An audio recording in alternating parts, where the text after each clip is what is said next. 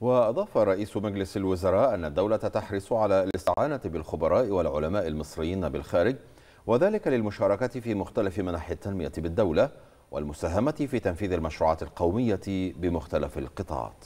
تحرص الدولة المصرية على الاستعانة بالخبراء والعلماء المصريين بالخارج للمشاركة في مختلف مناحي التنمية بالدولة والمساهمة في تنفيذ المشروعات القومية بمختلف القطاعات مع المتابعة المستمرة لتيسير المتطلبات الخدمية والاجتماعية والتعليمية والاقتصادية لأبناء الوطن بالخارج من خلال البعثات الدبلوماسية والمكاتب العمالية والثقافية والتجارية بالخارج.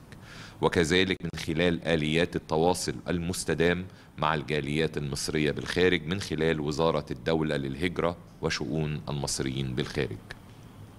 وختاما وكما نفذنا التوصيات الصادرة عن مؤتمركم السابق والذي عقد في أغسطس الماضي أتطلع إلى توصيات ونتائج هذا المؤتمر.